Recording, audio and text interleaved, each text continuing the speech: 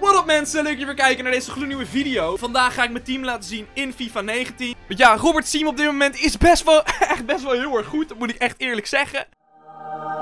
Natuurlijk ga ik ook gewoon lekker mijn club laten zien. Want ik heb echt best wel heel veel spelers. Ik heb natuurlijk heel veel SBC's gedaan toen uh, natuurlijk het Team of the Year er was. Om natuurlijk meer Team of the Years te kunnen packen. Ik heb dus bij elkaar in het hele Team of the Year twee Team of the Years gepakt. Ik heb Ronaldo gepakt plus Kevin De Bruyne. Daarom ga ik dus op dit moment mijn team laten zien. Het is echt ontzettend vet geworden, mijn team. Het is ontzettend goed. Ik heb letterlijk in de Weekend League maar twee potten verloren. En die twee potten die ik had verloren kwamen doordat mijn wifi uitviel. Want ja jongens, de wifi hier is niet heel erg goed. We gaan wel gewoon het team laten zien die ik op dit moment heb gemaakt. Het is echt super vet geworden. En natuurlijk ga ik ook gewoon mijn club showen. Dus jongens, let's go. Oké mensen, we starten natuurlijk in mijn club. En zoals je kan zien heb ik 2445 spelers in mijn team. Dat is echt dat is echt niet normaal. Dat is echt niet normaal. En mijn clubwaarde at the moment is 318 mil. Wat de... Oh, 319 bijna. What the fuck? Dit is echt, dit is echt ongekend. Wat? Hoe dan? Oké, maar eventjes daar tezijde van. We gaan gewoon lekker mijn club in. En jongens, als beste speler natuurlijk in mijn club heb ik de enige echte Codine. Dit is echt weer zo'n kutgrap van mij. Sorry. Sorry jongens, het spijt me heel erg. Nee jongens, de beste speler in mijn team, die gaan we later zien. Maar we beginnen gewoon lekker bij onze Nederlandse vriend Gullit. En Gullit is wel echt een beest. Hij scoort niet heel veel bij mij, want ik wist heel vaak van de opstelling. En de ene keer zit ik hem op CVM, de andere keer op CM. CVM vind ik hem heel slecht, maar dat, dat vind ik dan. Dan zou je beter die CA-versie kunnen halen, naar mijn mening. Maar deze guy moet je eigenlijk gewoon op het middenveld zetten. Dan is hij gewoon echt een beest.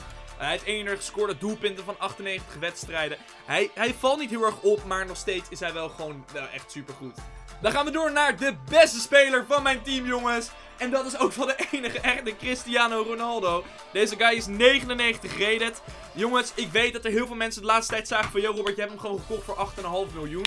Um, dat klopt. Ik heb deze guy gekocht. De reden ertoe was omdat ik hem had gepakt. En ik zat met een vriend te praten. En hij zei tegen mij van... Yo Robert, verkoop hem nu gelijk. Je bent als eerste die hem, die hem heeft gepakt.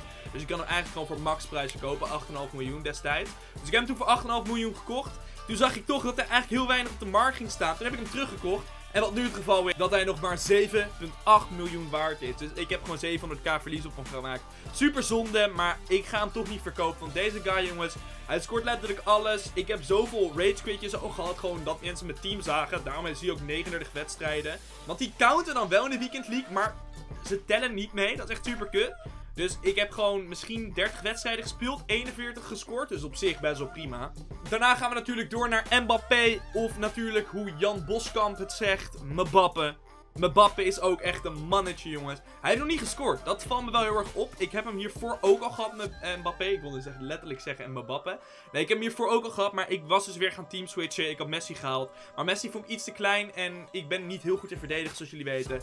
Dus daarom heb ik ook wat Team of Year verdedigers gehaald. Daar gaan we sowieso later naar kijken. Maar zoals je op dit moment kan zien, heb ik dus Mbappé gekocht. En deze guy is ook gewoon echt super goed. Hij is super snel. Hij kan echt alles schieten erin. Dus dat is echt, jongens, eh, Mbappé is echt, echt een hele goede speler. Als je hem ook vergelijkt met Neymar Team of the Year, dan is Mbappé dus echt stukken beter.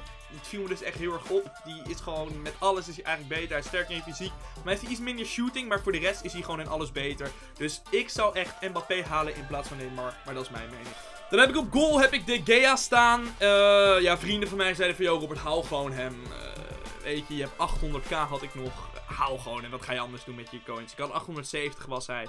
Op zich is hij wel een hele goede keeper. Maar om hem nou echt te halen. Om daar nou echt zoveel geld aan uit te geven. Ik zou het niet doen. Als jij niet het geld, tenminste als je niet geld over hebt, zou ik hem niet gewoon halen. Ik zou dan gewoon lekker de normale de laten staan. Ook al heeft deze guy soms wel echt de fakeste reddingen ter wereld waar ik echt van zit.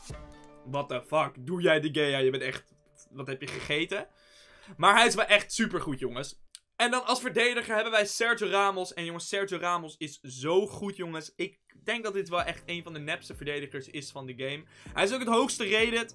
En dat verdient hij ook echt, jongens. Want deze guy, het is echt, het is gewoon niet eerlijk. Het is gewoon, soms denk ik gewoon van, yo, dit had gewoon een een vrije trap voor moeten zijn. Maar dan wordt hij niet gewoon niet gegeven omdat hij gewoon te hoog rated is. En omdat hij dan perfect tackelt. Dat hij net nog het balletje aantikt. Ook al als hij niet het bal had aangetikt was het gewoon fucking dik geel geweest. Of rood. Dus deze guy is echt super goed. En als linksback heb ik Marcelo. En Marcelo is echt jongens, ik zweer het je. Het is denk ik wel de beste linksachter van de game. Nee, maar Marcelo is letterlijk alles wat je maar wil als een linksachter. Ik heb hem toen verkocht. Ik heb hem weer teruggekocht. Want ik zag heel erg dat als je Marcelo niet hebt, dat die links, linkerflank heel erg zwak wordt. Als je Marcelo daar wel hebt staan, dan wordt hij gewoon veel sterker. Dus als je het geld ervoor hebt, hou Marcelo. Marcelo is echt...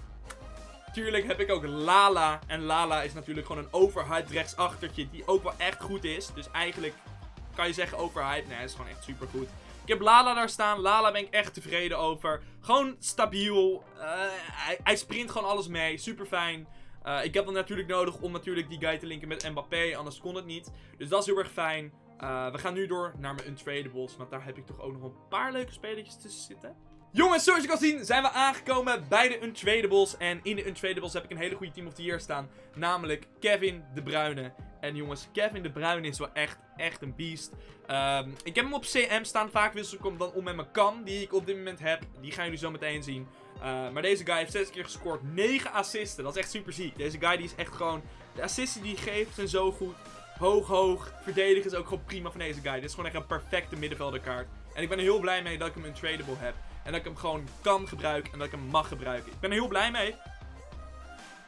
Uh, op linksbuiten heb ik Hazard staan. Uh, ik link die at the moment dus met Kevin De Bruyne. Uh, ik had het gelezen in de comments dat mensen zeiden yo, link die guy, please. Link hem, link hem. Heb ik eens gedaan. Ik heb Hazard heb ik gehaald. Um, ja, ik ben hier gewoon, ik ben hier echt tevreden over. Ik heb deze guy al sinds het begin van FIFA um, nooit gehaat. Ja, ik weet niet. Die krulballen van hem, tenminste die curveballen. Dat is zo fijn van hem. Uh, en dat is wel denk ik een van de redenen waarom ik hem denk wel een van de beste linksbuiters van de game vind. Ik heb misschien nog niet Neymar geprobeerd. Misschien wil ik die wel gaan proberen. Dus Neymar Team of the Year. Als ik op een gegeven moment genoeg geld heb, ga ik die guy wel halen. Maar at the moment heb ik daar Hazard staan. En Hazard ben ik gewoon, ja, niks over te klagen. Ik ben er gewoon heel erg tevreden over. Ook heb ik Ibrahimovic gedaan. Ibrahimovic, echt een goede spits. Uh, ik heb nog steeds de Gea, die heb ik untradable. Balak, Casillas, Courtois, Rio Ferdinand. Rio Ferdinand heb ik echt al, ook sinds het begin, 381 wedstrijden gespeeld. Ook tevreden mee. Scoort niet heel veel, maar wat wil je? Je, bent Rio Ferdinand, je bent een verdediger, man. Ook heb ik Royce. Royce is ook wel goed. Uh, alleen soms, ik vind hem een beetje zo'n curve hebben. Dat de ene keer, ene weekend league speelt hij heel goed. De andere weekend league speelt hij echt bout. En dan denk ik echt van, yo, waarom heb ik die guy gehaald? En dat hoor ik van verschillende mensen. Ik weet niet of het misschien aan jezelf ligt of aan de gameplay. Uh, de ene keer is hij beter dan de andere keer. Ook heb ik Tevez en ik vind hem, mama, misschien komt het door zijn 3-star weak foot, maar, of door zijn tempo die hij heeft, maar ik vind hem niet heel sterk. Ik weet niet waarom ik hem heb gehaald, ik dacht dat hij veel beter was. Maar ik vind hem niet heel goed, ik zou hem niet gebruiken, tenminste ik gebruik hem niet. Misschien ga ik hem in leven voor een SPC, of ik ga hem gewoon lekker houden. Ook heb ik nog steeds Pogba, Pogba heb ik al gewoon, die had ik gewoon echt in mijn eerste pack in FIFA, untradable. Dus op zich is dat ook heel erg fijn. Uh, Sturridge, eigenlijk nooit gebruikt. Ik heb zoveel spacing nog nooit gebruikt. Sterling heeft voor mij één pot gebruikt, twee potten, nooit gebruikt. Sane heb ik heel veel gebruikt. Uh, gewoon Fran, heel veel gebruikt. Hij heeft nog nooit gescoord, zie ik. En hij heeft best wel veel wedstrijden gespeeld. Maar ja, wat wil je? 64 shooting. Dat, kan gewoon niet. Milikovic Savic, uh, soms even als een wisseltje erin gezet of als een speler geïnteresseerd was. Nikitarian heb ik wel gebruikt. Um, Hernandez nooit gebruikt. Boateng, 8 wedstrijden. Ik dacht dat hij heel goed was, totdat ik zag dat hij in één keer balans 70 had. En dekking 65, dat was gewoon echt super kut. Dus toen heb ik die weggedaan. Uh, Skinar heb ik ook even tijdelijk gebruikt. Op zich wel een goede verdediger, maar meer gewoon voor SBC gedaan. Uh, Marco Alonso. Ik denk als, hij, als Chelsea verder komt dat het echt een hele goede linksachter wordt. Maar op het moment gebruik ik hem niet. Ik vind hem nog iets te slow. Uh, maar dat is mijn mening.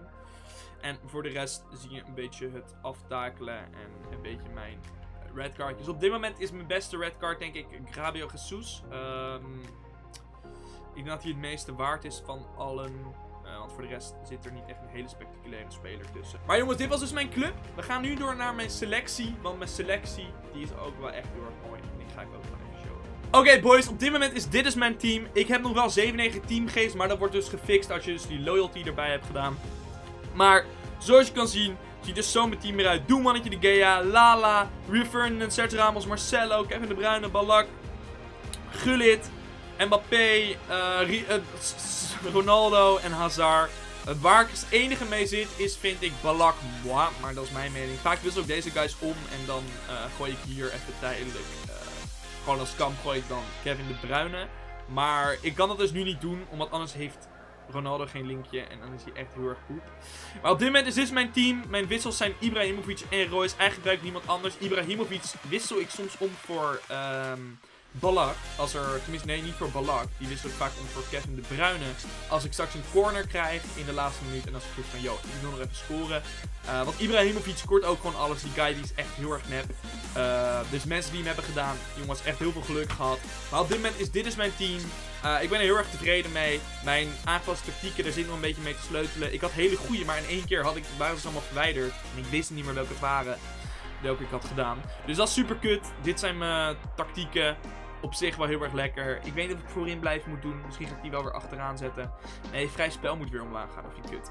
Dus die heb ik dus eventjes zo staan. Sowieso altijd achterblijven tijdens aanvallen. Uh, mijn linksachters en mijn rechtsachter. Anders wordt het echt verschrikkelijk. Tenminste, daar heb ik heel erg. Als ik dat niet doe, dan wordt het letterlijk een gatenkaas achterin. En dan komt iedereen heel makkelijk door mijn verdediging heen.